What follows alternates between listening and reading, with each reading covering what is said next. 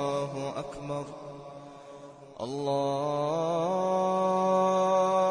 أكبر الله We're just north of Dibba so just inside the border of Oman, having come through United Arab Emirates. It is hot. Um, when I heard it was going to be in the 30s, I thought that's that's hot, but it's doable. But it is very hot, so it's going to be a real challenge. That's it.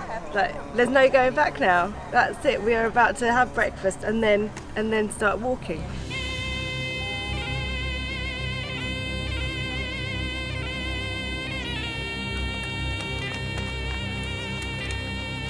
The climbing has been unbelievable. I think I thought I was probably trekking along trails and sort of along pathways and it hasn't been like that at all. We've been around rock faces, uh, with sheer drops. We've basically been like mountain goats.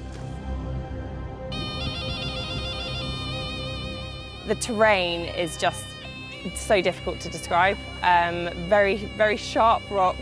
Um, it's just there's just nothing around. Um, and you know when you're climbing a mountain in 35 degree plus heat, um, it really brings it home what unforgiving territory this is.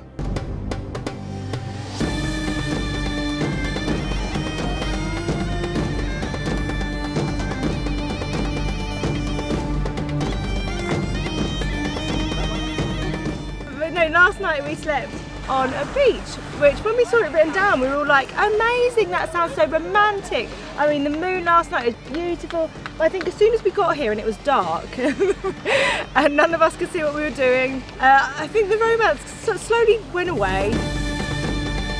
There've been lots of hugs, a lot of sweaty, sweaty hugs. We had a little boogie up on a rock, a lot of tears as well. Every single person is amazing. They have their own story to tell, their own mo- motivation. It's like you keep each other um, on the straight and narrow. Everybody picks each other up. It's an absolutely amazing place. Yes, it's hot, and yes, it is hot to be trekking in, but standing on top of these mountains, beautiful vistas, it's been amazing. But obviously being here uh, and trekking and seeing it all, yeah, I feel like I've accomplished something. It's probably one of the hardest things I've ever done.